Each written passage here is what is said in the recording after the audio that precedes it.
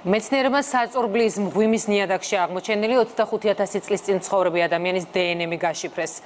საქართველოსა და უცხო ქვეყნების სამეცნიერო ინსტიტუტების მიერ ჩატარებული ერთობლივი კვლევის შედეგების ამსახველი სტატია კი სამეცნიერო ჟურნალ Current Biology-ში გამოქვეყნდა. კავკასიურმა გენმა აღმოსავლეთ ევროპის ხალხის ჩამოყალიბებაზე დიდი გავლენა იქონია.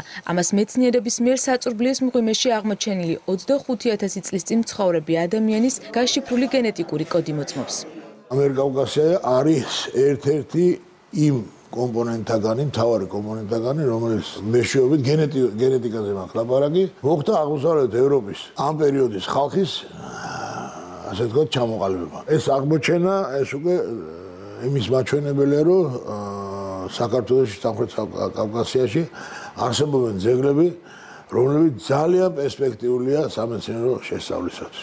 წყალტუბოს მღვიმეში ღრმა გენეტიკური კვლევა სრულიად ახალი მეთოდით მიწის ნიადაგიდან აღებული დნმ-ით ჩატარდა. შედეგების გადასამოწმებლად მეცნიერებმა ნიმუში ზუძუანის მღვიმეში აღმოჩენილ ადამიანის ძვლოვან მასალას შეადარეს და დაასკვნეს, რომ ამ ორ ინდივიდს ერთნაირი გენეტიკური მახასიათებელი აქვს.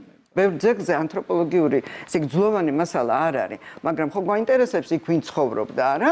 და აი სედიმენტიდან იღებენ ამ დნმ-ს. ჩვენთვის სასახარულო ის არის, რომ ძველი კვლევები დაემთხვა ახალ კვლევებს. ძალიან დიდი პერსპექტივა აქვს გენეტიკურ კვლევას არქეოლოგიაში. ეს გვაჩვენებს ადამიანის მიგრაციის ხაზს კვლევების დროს მღვიმეში არქეოლოგებმა ჰომო საპიენსის შრომის იარაღებიც აღმოაჩინეს. ქვითა და ძვლით დამზადებული მასალა თანამედროვე ტიპის ადამიანების ცხოვრების წესსა და კულტურაზე მიუთითებს. ფართომასშტაბიანი გათხრების დროს არქეოლოგებმა რამდენიმე უბანს მიაკვლიეს. აქ ადამიანი დროის საკმაოდ ხანგრძლივ პერიოდში ცხოვრობდა. რატომ მან და მაინც ეს მღვიმე სადაც აირჩია მან აქ ცხოვრება რა?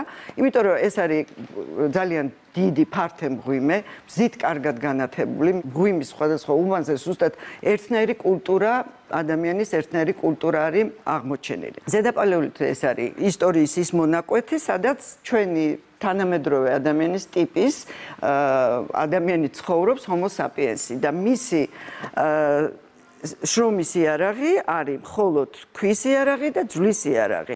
საწურბლის მღვიმეში არქეოლოგიური გათხრების დროს სხვადასხვა კულტურული ფენები აღმოაჩინეს. სპეციალისტები ვარაუდობენ, რომ შეიძლება კიდევ ერთ მღვიმესა და უფრო ადრეული ადამიანის ნაშთებსაც მიაგნონ. ტყიბული თერჯოლა ზესტაფონი და ბაღდათი ადგილობრივების საჭიროებებს